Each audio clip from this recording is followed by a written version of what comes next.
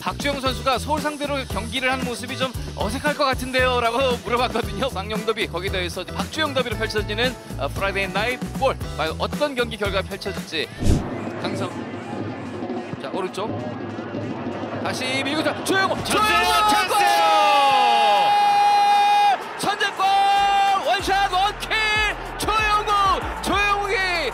뚫어주고 있습니다. 서울이 1대0 앞서 나갑니다.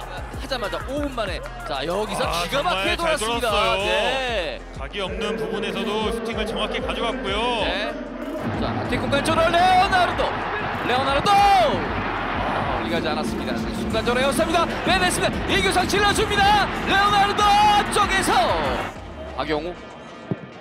자 스루 패스 빠져나옵니다. 스피드를 붙여서 엄원상의 크로스. 헤더! 아, 지나갔습니다 골문을 열지 못했습니다 아쉬워하는 레오나르도 엄원상의 스피드가 여기서 이제 제대로 한번 발휘가 됐는데요 잘 들어갔고요. 네, 순간 스피드 돌아서는 게 자, 좋아요. 그렇죠. 이청용 이제. 돌아섰습니다. 자 이청용의 크로스가 올라갑니다. 찬스. 왼쪽 팀 쇄도하면서 슛!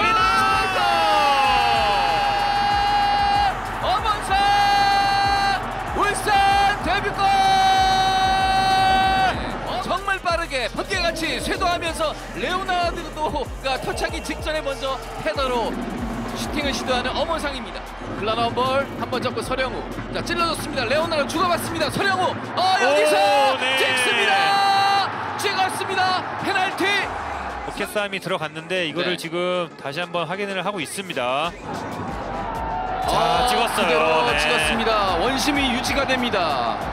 결정적인 역전 기회 레오나르도 출발했습니다. 천천히 레오나르도 슛골!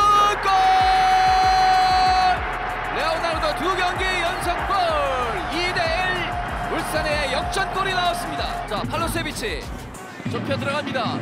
그리고 맨 중앙 쪽으로 측면으로 빠져나왔습니다. 임민혁 선수를 빼고 김신진 선수를 투입을 했습니다. 김영권 선수가 지금 쓰러져 있는데요. 전반전부터 정말 좋은 모습 보여준 김영건 선수입니다. 네, 지금 들것이 들어왔기 때문에 경기장에 잠깐 빠져야 됩니다. 그리고 어, 선수 교체 없이 이제 그냥 갈 것 같은데요, 홍명보 감독은요.